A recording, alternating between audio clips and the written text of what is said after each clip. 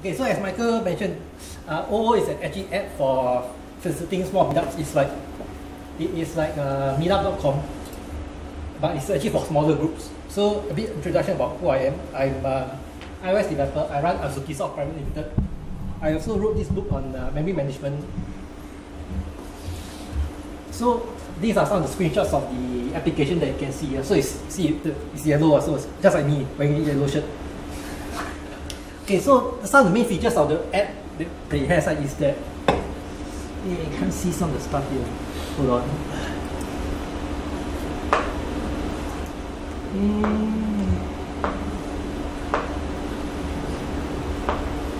Mm. Okay.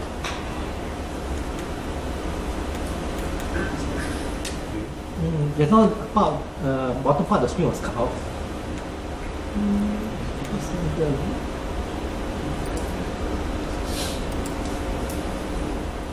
Mm, nah, still. Just zoom it. Uh, What? Just make it large so that at least Yeah. Yeah. screen. Okay, I think fine. okay, I think don't to go through this. Okay.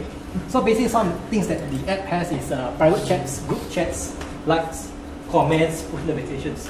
So these are the common functions that you see in any uh, social networking app.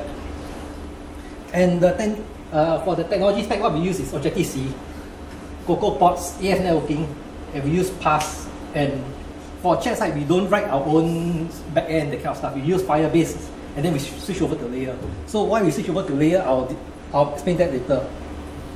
So for Objective-C, because when we started using, doing this app, like, okay, was Objective-C, there, there's no such thing as Swift. And being Apple, I, I know that they probably screw up somewhere with iOS and so Swift also. So it's not mature yet. I expect there'll be a lot of bugs with Swift. And I kind of was correct. So, and also legacy code was Objective-C, so we use Objective-C all the way, no Swift. Next, we use CocoaPods. Okay, why we use CocoaPods is that it has a huge library of supported components, but every time there's a new version of Xcode, it tends to break somewhere. So you have to spend a bit of time to fix it. So we're actually looking into alternatives like Carthage to see how good is it compared to CocoaPods. But somehow CocoaPods seems like it has a lot of mindshare, a lot of people are using it. So we'll probably stick with that for the meantime. Okay, next we use, for push notification, we actually use Parse. Of course, one is easy to set up in test. We tried urban airship at the start, but we have problems with the notifications like suddenly go missing. Like we send notification, but it doesn't, it's not received by the user or the device. So Parse has not failed us yet, so it's pretty stable for now.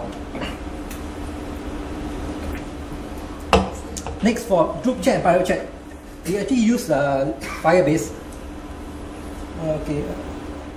Okay, we actually use Firebase. So Firebase is actually good for real-time use cases. So it's good for real-time apps, not only just chat. Chat is one of the functionalities that can use. So they can use it for games and anything that requires real-time uh, response. But because like it is only used for real-time apps, so that means like anything that you need for chat, like image upload, video upload, you can't you can't have that in Firebase unless you write your code yourself. So and also like because Firebase is not a chat program per se, so and we had a lot of trouble actually managing data from our own database and Firebase itself. Because Firebase uses a key value store and it's running on MongoDB. So we switch over to Layer, but of course like Layer is a new techno, it's a new company. It's uh, how say it's quite cutting edge. So examples like the code examples like all this, although they say the code example will download, install on your server will work, will work like, but actually you find that that's not the problem. We found that like their PHP code like 50% of the code have to be rewritten to actually work on our server. So I was actually I just changed the PHP code. I sent sent an email back to them and say that your code sucks, doesn't work out of the box. Here's the actual code that can work. Of course, it's not gotten back, gotten back to me yet. So layer is actually developed purely to uh, create chat, chat applications. So things like image upload, video upload is all supported. You don't have to worry about writing additional code for that. But it can be a bit slow because it's a managed service. So if you're actually looking for a very fast uh, transfer rate of very fast response, like you may want to actually roll your own. But of course that means that you spend more time doing your own backend. Next, we for networking we use AF networking. It's the most popular iOS networking library so far we've seen. It's widely used, widely supported, but it still has some issues. And the issues is due to Apple's fault, not AF networking. It's actually due to Apple's NSURL implementation. Somehow it causes operation timeout even when the network is okay. It was an issue actually listed on the GitHub, but the guy said it's actually uh, how Apple implements their NSURL. So that one is actually not in, not a problem of AF networking side, so we can't really do anything about it. And also sometimes we have multiple alert views about network errors, which we when we're using AF networking, which we know is actually not their fault because it's an open source library, and they're actually using uh, NSURL as a base. For backend, it's already typical the LAMP stack. We use PHP because it's fast to get going. MySQL as a standard, and we are running on the Linode 14.04 Ubuntu server. We are not we, we don't use Microsoft and kind of stuff because you know no budget uh, as a startup. We don't have money to spend six thousand dollars on servers kind of stuff. Although Azure is supposedly cheaper, but it still sucks. So any okay? So any other questions about the technic about any technical parts? Or the most important question is, can you go off now?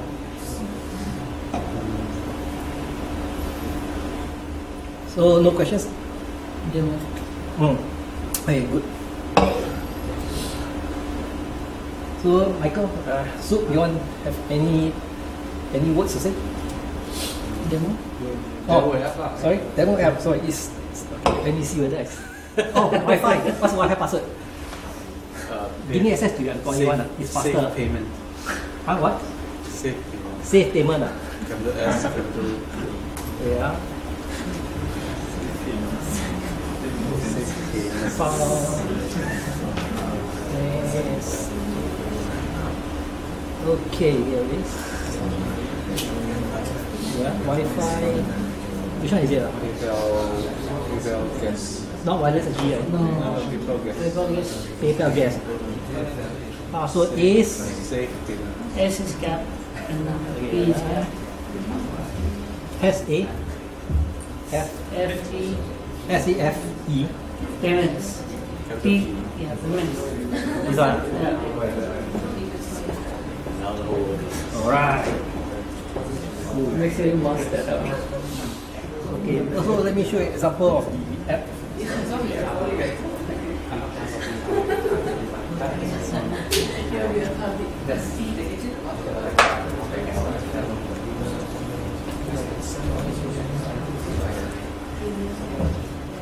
So as you can see, we split up into multiple storyboards. We had because we had issues of uh, of the storyboard having Git conflicts at the start. So we split into a few storyboards for to, to avoid those conflicts. Okay, where's my simulator? Ah yes, okay. So you can see this one is the app. You can yeah, there's a JC Samsung face here. The guy sitting there. And you can have notifications. So these notifications actually comes from the our own server. Then you can actually like Facebook can actually click on it to go to the meetup.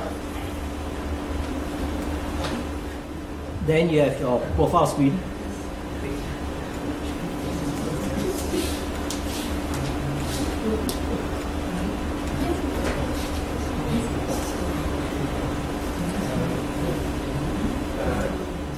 Then you can see like number of followers you have, all this inside the typical uh, social kind of, social networking kind of application. So all these uh, images are actually right now loaded on S3, so it's actually downloading is actually pretty fast. Previously we loaded it on our own server, but there was a problem where the loading of the images is very slow. So we now move everything to S3, even for the videos also.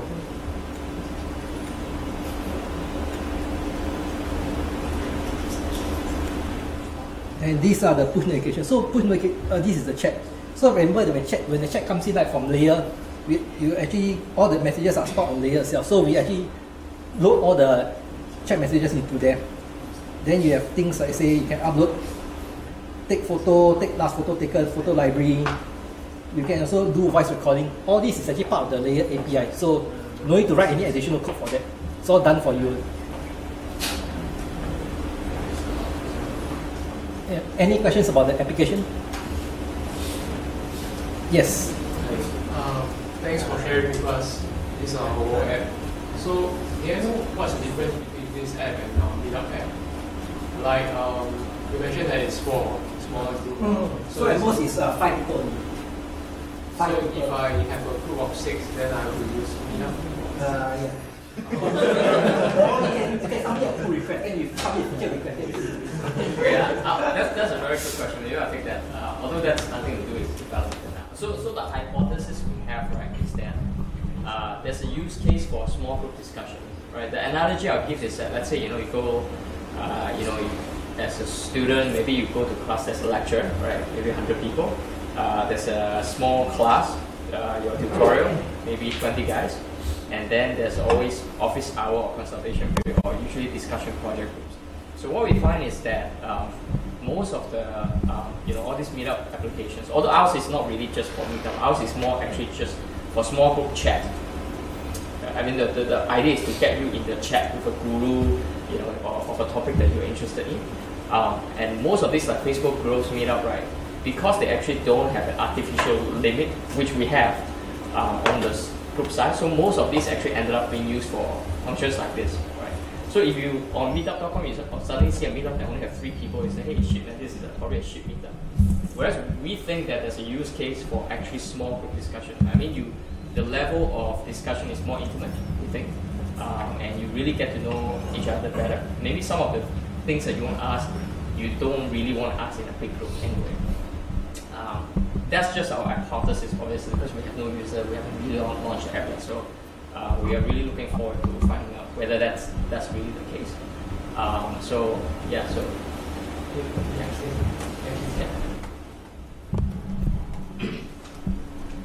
No? Any other questions?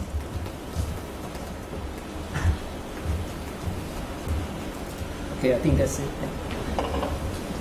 Okay, thank you. Thank you.